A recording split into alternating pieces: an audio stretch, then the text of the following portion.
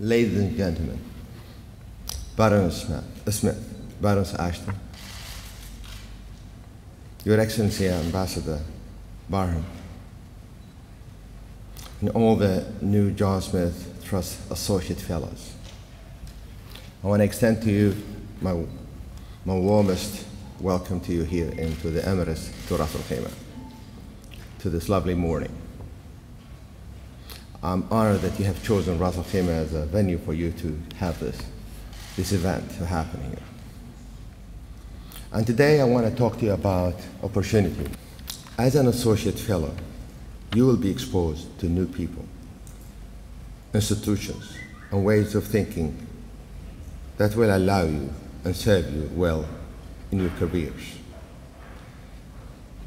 Use this opportunity to, to build upon the foundation laid down by past generations, create change for the common good, leave the world a better place than you found it.